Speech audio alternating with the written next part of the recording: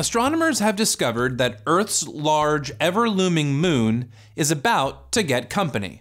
Beginning on September 29th, the planet will capture an asteroid sailing nearby, drawing it in for one loop around Earth before making its exit on November 25th. When it leaves, it will continue its trajectory around the Sun. The two month visit puts this space rock in the class of so called mini moons. The asteroid getting its proverbial 15 minutes of fame is called 2024 PT5, discovered with the help of a NASA funded asteroid detection system and a South African observatory in August. But before digging out and dusting off the binoculars from the closet, know this it's only 33 feet wide, about the length of a Greyhound bus, and not bright enough to view with the naked eye or an amateur telescope. Throughout the solar system, close to 300 moons orbit the eight planets and Pluto, and scientists often find new ones as survey methods improve. The vast majority of moons circle gas giants Saturn and Jupiter.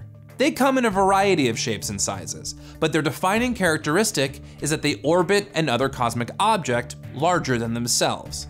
While these natural satellites are quite common, moons are special to humans because Earth has just one in a fixed orbit albeit a rocky one, roughly one quarter Earth size, about 239,000 miles away.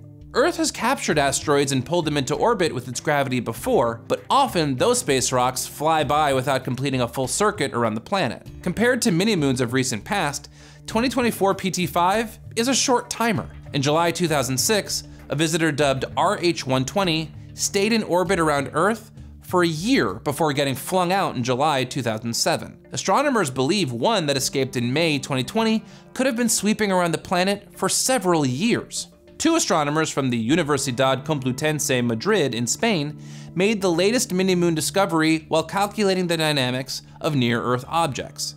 Their findings were published in the journal research notes of the AAS.